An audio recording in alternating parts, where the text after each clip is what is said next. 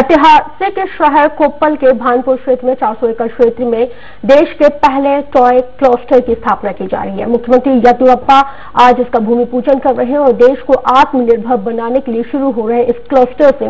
चालीस हज़ार से ज़्यादा लोगों को रोज़गार मिलने का अनुमान लगाया जा रहा है। सूखे से ग्रस्त रहने वाले इस ज़िले के लोग क्लस्टर की स्थापना से बेहद खुश हैं। यहाँ खिलौना उद्योग देश का पहला एकीकृत विनिर्माण क्लस्टर होगा। बुनियादी ढांचे और परिचालन सहायता की जरूरतों को पूरा करने के लिए इसमें एक्ट्यूज इनका भी साझेदारी कर रहा है। इससे देश में स्थानीय रूप से निर्मित खिलौनों को बढ़ावा मिलेगा।